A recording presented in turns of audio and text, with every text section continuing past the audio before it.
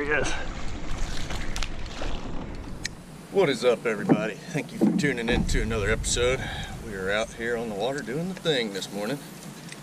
It's that time of year. Seasons are changing, temperatures are changing, fish are changing positions, patterns, all that kind of stuff. So we had a big cold front last week. You know, it uh, had several nights down in the 30s, a lot of nights in the 40s. Water really chilled down and then uh, warmed up just a little bit. And then this last night dropped back down into the low 50s. So I decided, oh, there we go. It's first fish of the day. Little bass. Little micro bass. Chunk. But I decided to come out here and do a little creek fishing today. Look for some trout, some reds, anything else. Decided to bring a little ultralight setup here. Got a little beetle spin, got some other stuff I'm going to try later on. He's got a good stretch of this creek I got to get through that's pretty fresh. And uh, I've had some good success with the brim and stuff here in the past. So decided to bring some of that just to make sure I didn't skunk this morning. but like I said, main objective is I'm going to try to see if I can't find any trout, locate any trout, maybe a good bass or you know good red, something like that. We're just going to start pushing our way back this creek, working it down, see what we can find. I'm not going to take my time too much with this beetle spin. Do this a little bit more on the way back up, but yeah, just, just getting out. It's a great morning. Got a lot of wind today, which is another reason that kind of drew me into here You know, I was kind of limited on where I could get. Been on a pretty good flounder bite out in the bay, but with this wind like this, I didn't uh, try to fight that. You know, 10 to 15 mile an hour north wind in a kayak and out in open water is not fun at all. So we're gonna see what we can do, and uh, yeah, y'all stick with it. All right, we're starting to kind of get get a little further down. Didn't have much luck after that bass. We went ahead and tied on a twitch bait. It's got the little Yo-Zuri 3DS twitch bait. Kind of working a bone color. I usually like the chartreuse, but I realized I did not have it when I got out here. So we're gonna go with that bone, see how that does for me.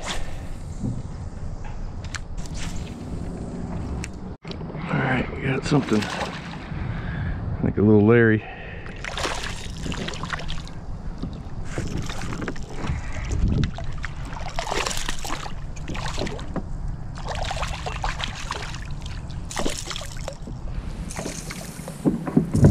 very large mouth.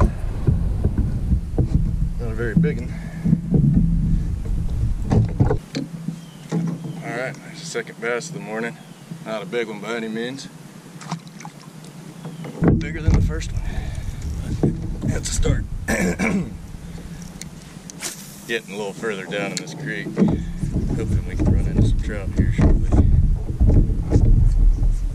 Still using that uh, that Yo-Zuri seeing some bait and stuff rolling around and a little bit of surface activity, but outside of him and that smaller one, I haven't really seen a whole lot going on. Me, at least. But I'm thinking the closer we get down to the mouth of this creek, the better it's going to get for me.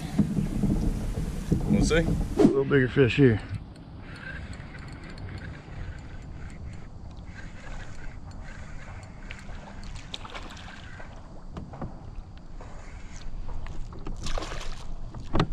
Another Larry.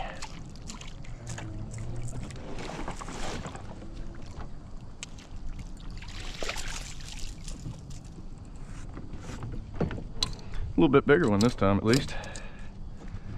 All right, here's another one. Getting a little bit bigger this time at least. Still looking for a speck, but not getting skunked, so I'll take it.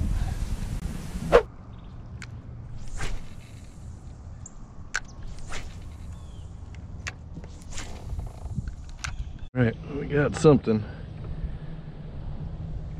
Oh, might be a little speck. Oh yeah. That's what we're looking for.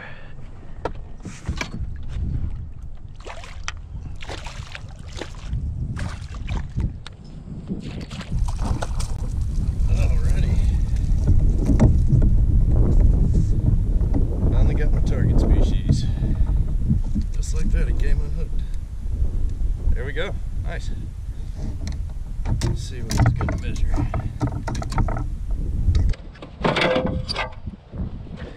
Will it go 15?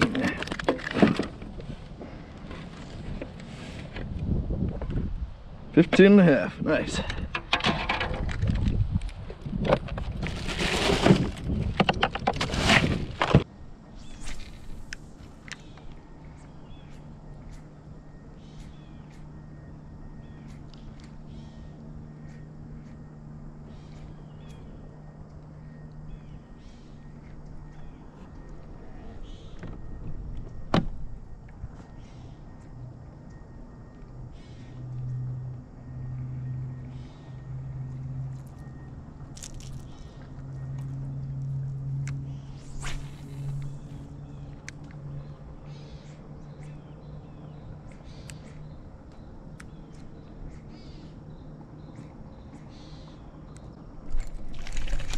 Nice.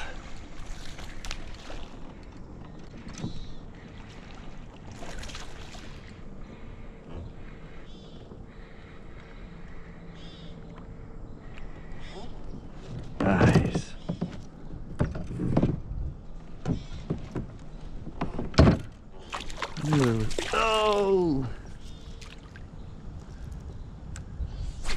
I knew there was one back here.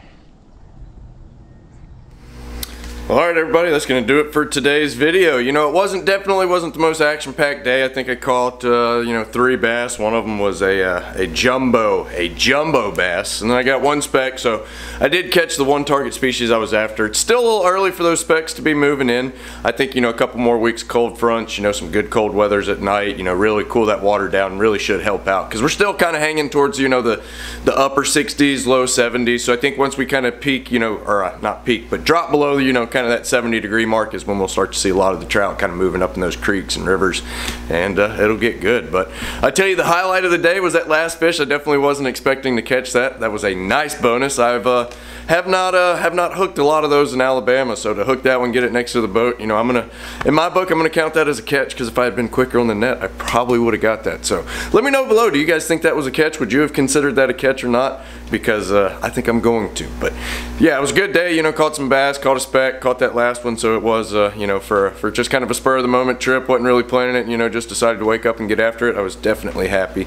Especially with the conditions we had you know that that wind kept me from getting to where I wanted to go so it was just nice to get out and uh, you know have a little bit of action. So if you guys enjoyed this video shoot me that thumbs up. If you're not subscribed up make sure you hit that subscribe button. And if you guys are interested in a guided kayak fishing beach fishing boat fishing any kind of fishing trip along the Alabama Gulf Coast be sure to shoot me an email at kayaking.kennedy at gmail.com or you can check, check out Whistlin' Waters on the Fishing Chaos app. But I think that's gonna about do it for today. I'm gonna get out of here get this video finished up get this out for y'all and then I'm gonna I might get out this afternoon and do a little bit more fishing we'll see. We'll see what turns up and uh, yeah but like I said as always I appreciate you guys tuning in. I appreciate all the love and support and I will catch y'all in the next one